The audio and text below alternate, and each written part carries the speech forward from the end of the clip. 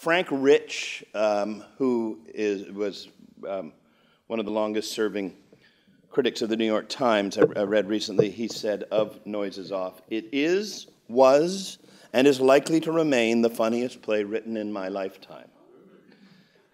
Michael Frayn is an Englishman. He is still alive. He grew up in a, he was born in a suburb of, of London.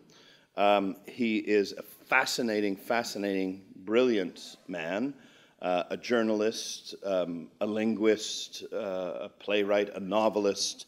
Um, he's won many awards for many things. His most, I'd say his two most famous plays, he's 83 years old now, born in 1933. His two most famous plays, one was, and they couldn't be more different. So he's also got this, this quite prodigious breadth of talent.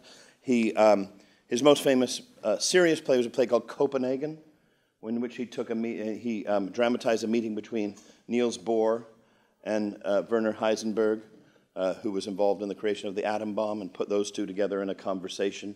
Um, and that play, Copenhagen, won a slew of awards around the world, including the Tony and the, and the Olivier Award. And then that's one side of it. He had many democracy and various plays that are very. I'd say there's there's a one in the middle.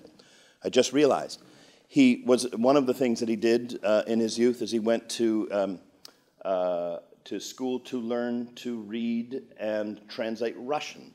And Michael Frayn is, I think anyone would in England would say that the premier translator of Chekhov, for instance, every one of Chekhov's major plays, if there's a major production of Chekhov in London, it's usually one that has been translated by Michael Frayn.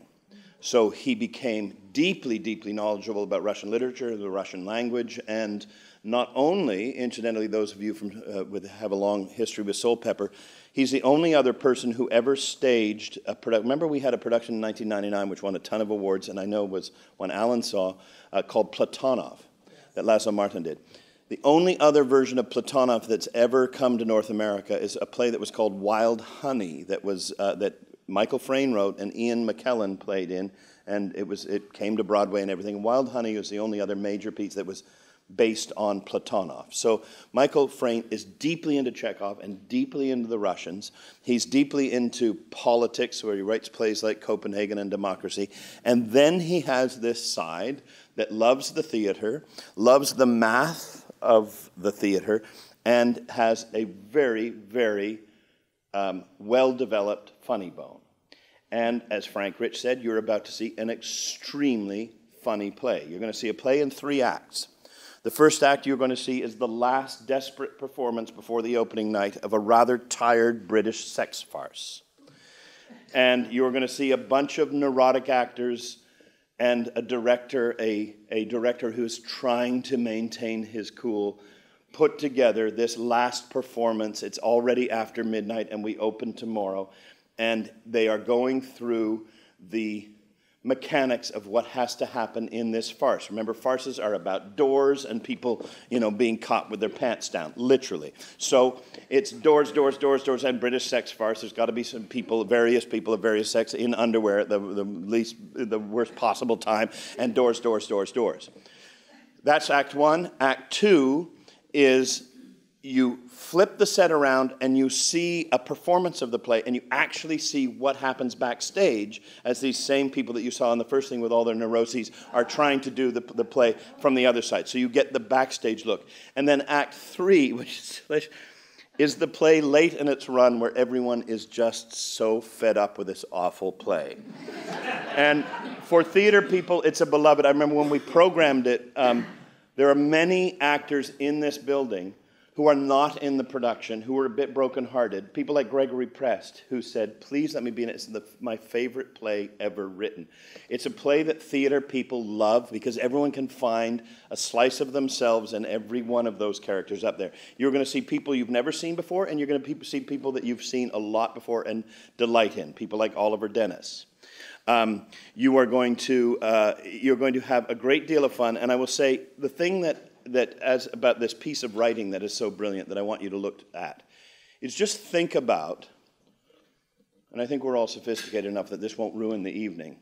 But as you're looking at the first act, which isn't uproariously funny, it's funny, but it's not uproariously funny. But then when you're watching the second act, which is uproariously funny, realize how brilliant was the writing of that first act that had mistakes happen so lines have to be repeated again.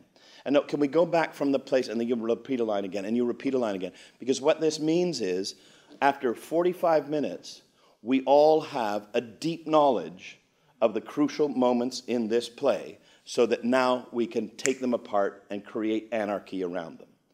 And what he does so brilliantly with this first act is builds a profound knowledge of the moments that have to happen. But he does it in joke form. People are fucking up. And so, no, can we go back on that, please? And he, he disguises it in this thing. And what you're seeing is brilliant exposition designed as people screwing up and not knowing what to do. So that in Act two and three, all you have to do. And so that's, that's when I watch it, that's when you just sit back and go, this guy is a master at what he does. So you're in for an absolutely delightful evening. You're in really good hands. You have an amazing company up there.